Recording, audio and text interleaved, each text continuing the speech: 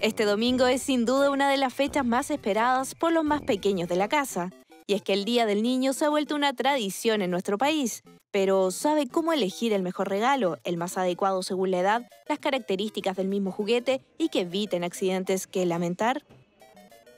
Bueno, siempre cuando con mi señora compramos alguna cosa, lo fijamos que sean, que no tengan cosas que le pueden, le pueden perjudicar, todas esas cosas. Preferimos comprar acá en los comercios que están establecidos que comprar en la calle o en cualquier otro centro que puede ser más de dudosa reputación. Obviamente de las piezas más chicas que no se suelten, que, que sea también como atractivo para su ojo, eh, que le llame la atención y, y eso. Para mi hija la pepa, que le encanta la pepa.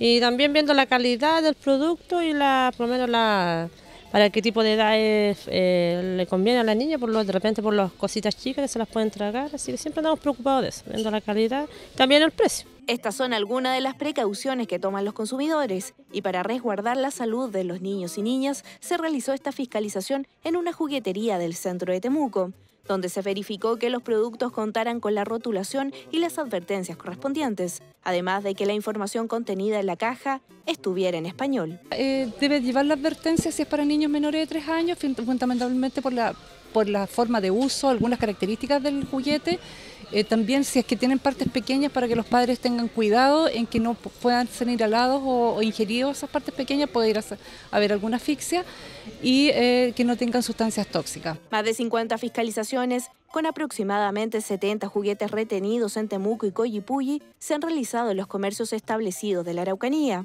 Inspecciones que podrían superar las 100 esta semana. Sobre 100 fiscalizaciones en distintos lugares y por supuesto también vamos a fiscalizar a todos aquellos lugares en los cuales eh, las personas que vayan y encuentren que no cumplen con las especificaciones adecuadas nos puedan hacer la denuncia correspondiente. La adquisición de un juguete tiene como fin la entretención del niño. Por lo mismo, este no debe significar un peligro o riesgo para la salud.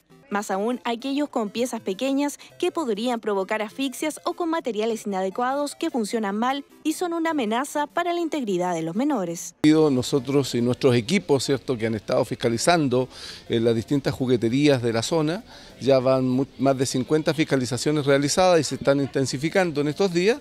¿no? Eh, lo más importante es que las personas, los adultos que van a comprar los juguetes para los niños tengan las mayores precauciones y que lean claramente las instrucciones. Comprar un regalo adecuado que cumpla con los estándares de seguridad hará de esta fecha una fiesta para los pequeños de la casa o para quienes aún conservan alma de niños.